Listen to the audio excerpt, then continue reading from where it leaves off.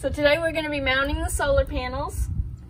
In a previous video, we showed you how we put rails that run the length of the van.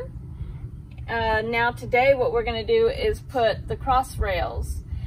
That's what these panels will attach to. And we're going to have to assemble it on top of the van because it'll just be easier than trying to carry it all up there at once. So we'll get started on that and then show you how we connect everything. If you missed part one of this video, there's a link in the description. You may want to watch that one first. That's where we ran all the wiring through the ceiling and everything in the van.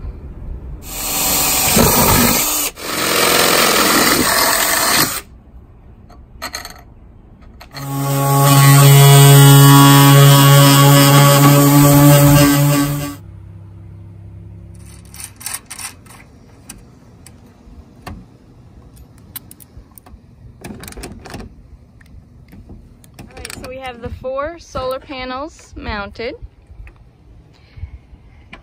They are Renogy 100 watt monocrystalline panels, the compact design.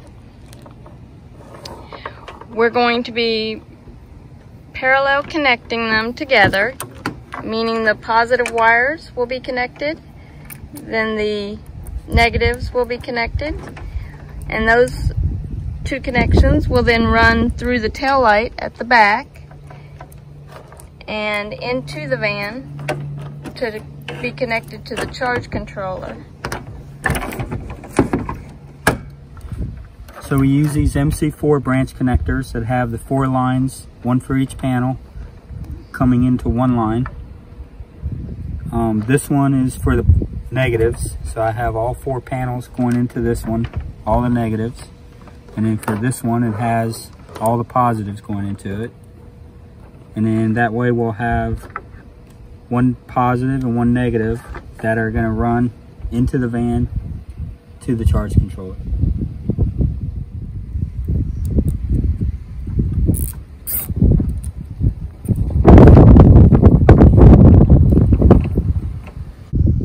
So we got all the cross rails and panels installed and one of the things that we wanted to do was put a board in here across that we could walk on up here and not worry about denting the roof. That would allow us to clean the panels when they need to be cleaned and maintain them or whatever we need to do. That's gonna get bolted into the rail as well.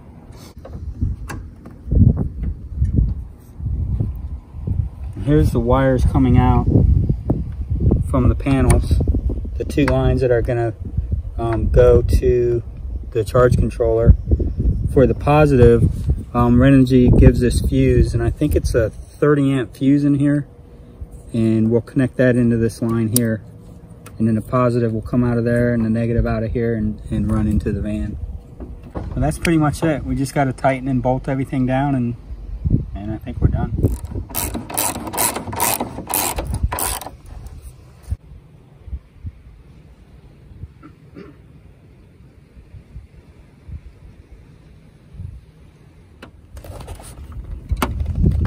the negative.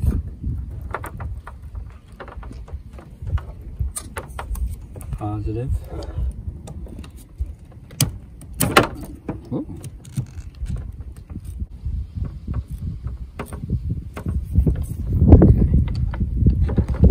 I'm going to tape the end of these with electrical tape so they don't touch nothing.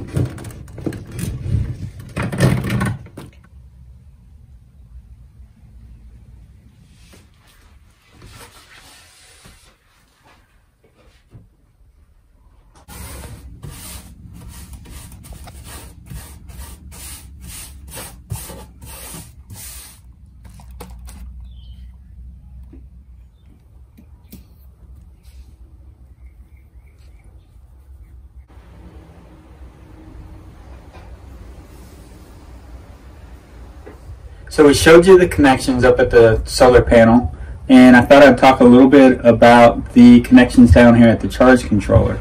The two wires that come in from the roof off the solar panel go right in here to the charge controller. The positive and negative that I showed you up there come into right here.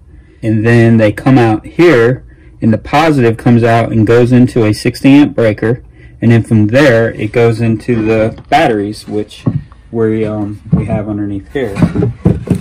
And this board just comes out. We can move it to the side. So this is the positive coming in, and then the negative comes in and goes into the negative terminal on the battery. Our plan is to have four batteries. Um, right now we only got two in. We got them uh, connected in parallel. So we're going to have all the negatives connected together and all the positives connected together for a 12 volt system. So we decided to go with the distribution panel. On one side of it is 12 volt, and the other side is 110. Now for the 12 volt side, we'll connect from the battery. Um, I use 6 gauge wire that goes through a 60 amp fuse and then up into the uh, distribution panel to make all the 12 volt side hot. As far as 110 goes, we decided to go with a transfer switch. And the reason we're doing that is because we're going to have uh, both a shore power plug and we're going with a 2000 watt inverter. And I'll try to explain a little bit of how this works. The shore power comes in from the plug and we have an earlier video where we showed us installing the, the 30 amp plug.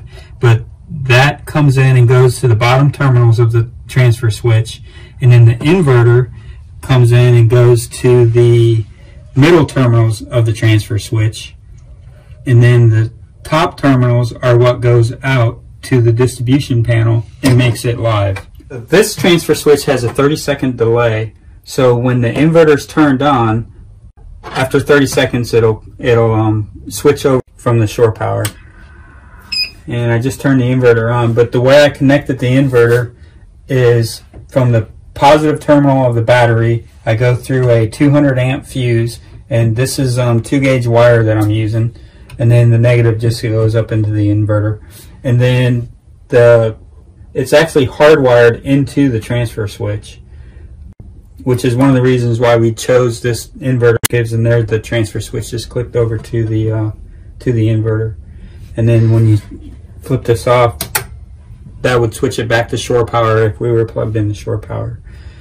So the main source of power for this fan is going to be the, the batteries, the 12 volt batteries. And we talked about earlier how we're going to um, have four of them. Each battery is 125 amp hours, which would give us a total of 500 amp hours, and 250 of that would be usable. We'll have three ways to charge the batteries. The main source of charging will be the solar, which we have uh, 400 amps of solar on the roof going through the charge controller. So that would be the main way of charging the batteries. Uh, the distribution panel that we chose also has a converter charger. So when we're plugged into shore power, that'll be another source of, of being able to charge the batteries. And the third way of charging the battery is going to be through a solenoid, which we did a video on how we connected that up. And basically that's going to charge through the van's alternator. And that wire comes from the solenoid into this 200 amp fuse, and then from there we'll go to the battery. Uh, so when uh, the van's driving down the road, it'll it'll charge the batteries through the alternator. Another thing we did is we connected this ground, and I think we showed that in a video where it actually goes down to the chassis of the van. So that'll help ground the batteries to the chassis. And that's pretty much the electrical in a nutshell. Hopefully some of that made sense on um, how we did it. And so now what we're going to do is continue framing out this whole loft area and we'll show you that in a future video. Please remember if you like this video to give it a thumbs up and subscribe to my channel. Thanks for watching.